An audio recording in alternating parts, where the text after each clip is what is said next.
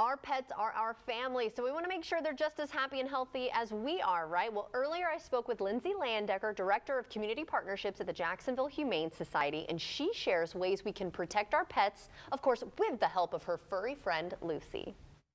So Lucy is a dog who is heartworm positive, and April is Heartworm Awareness Month. So all month long, we are talking about heartworm, um, how to prevent it, how it's treated, and how you can help dogs in need.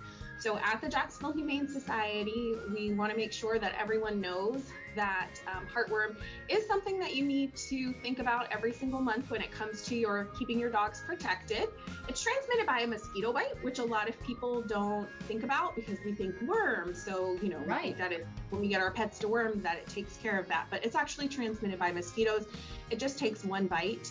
Um, and so you definitely want to keep your dog on heartworm prevention as prescribed by your veterinarian monthly. At the Jacksonville Humane Society, we take in um, upwards of 400 dogs every single year who have been infected with heartworm. And if it's not treated, it is fatal. So it's easy to prevent, um, but it's it's more difficult to treat. So we just want to let everyone know they have lots of options to help. Um, thanks to our friends Mosquito Joe. We're doing fundraising this month.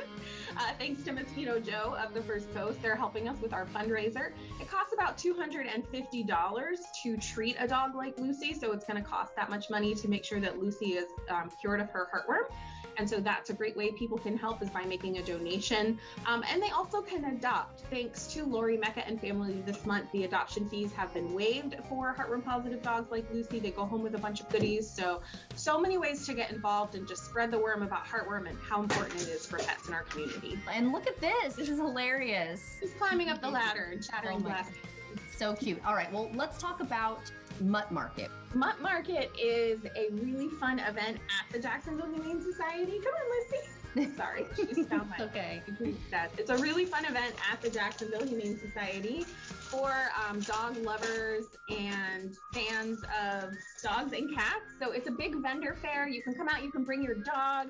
We'll have a splash pad, um, a silent auction, a really big sidewalk sale. So it's a really fun family event, and okay. we're doing free adoptions all day long. I want to learn too about the event at the end of the month. Woofstock? What is that?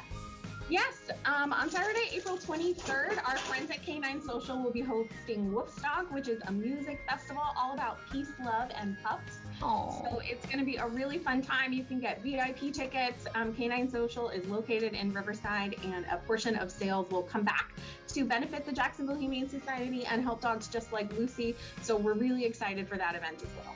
Well, if somebody wants to learn a little bit more about the upcoming events, or maybe they want to volunteer or donate, how can they get in touch? Um, the best thing to do is hop on our website. It is jaxhumane.org. So jax, J-A-X, humane.org. Our website was um, recently updated, so we've got all the information for you there.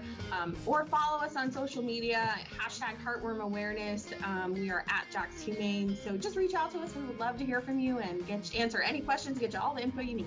Well, thank you so much. And thank you, Lucy. Was this her TV debut?